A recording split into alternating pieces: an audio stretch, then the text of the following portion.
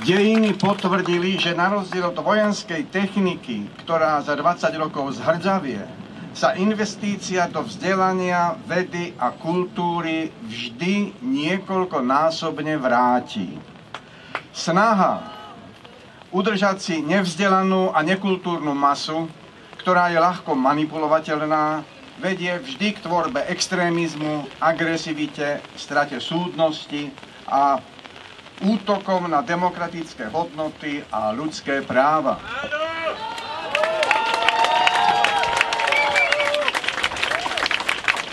Umenie musí nastavovať zrkadlo spoločnosti a preto vyzývam pani ministerku, ktorej snahou je svojim nekompetentným zasahovaním do procesov tento hlas umlčať, aby svoj post opustila. Umenie, umenie musí zostať slobodné.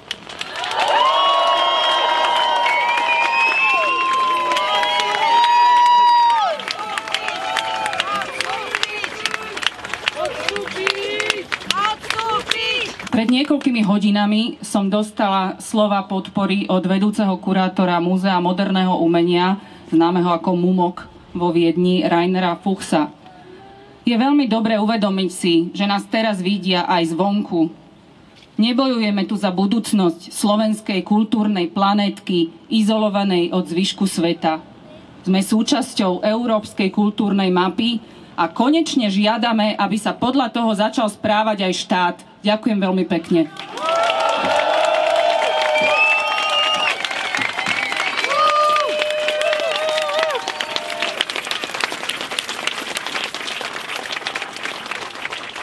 Za viac ako rok ste pre kultúru vo všeobecnosti neurobili nič. Ak ste niečo urobili, tak len proti kultúre. Po každom vašom počine premýšľame prečo. Buď na to, aby ste viedli rezort kultúry, nemáte patričné vzdelanie a skúsenosti, alebo si podľa vzoru viacerých politických kolegov myslíte, že politická funkcia vám dáva moc rozhodovať len podľa vášho osobného uváženia na základe sympatí, antipatí, osobnej pomsty, známosti, nálady či počasia a podobne. Odstúpiť! Odstúpiť! Odstúpiť! Odstúpiť! Odstúpiť! Odstúpiť!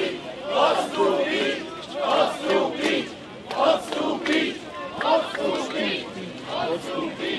Súčasná ministerka kultúry Ľubica Lašáková svojim konaním stratila našu dôveru. Stojíme pri kultúre a požadujeme bezodkladnú zmenu vedenia Ministerstva kultúry.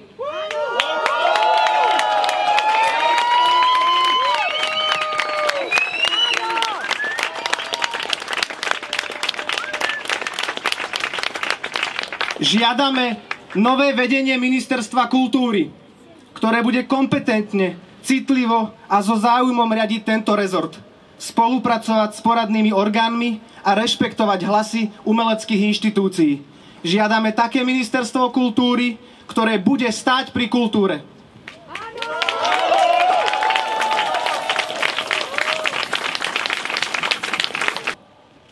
Dnes s rozhorčením sledujeme na ministerstve kultúry kroky v duchu najhorších tradícií normalizácie a mečiarizmu.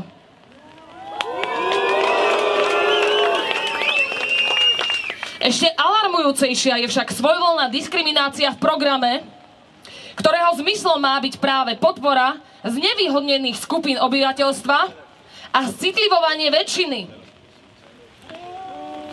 Každé ďalšie mocensky motivované, nekompetentné rozhodnutie prináša škody. Nemôžeme si ich dovoliť.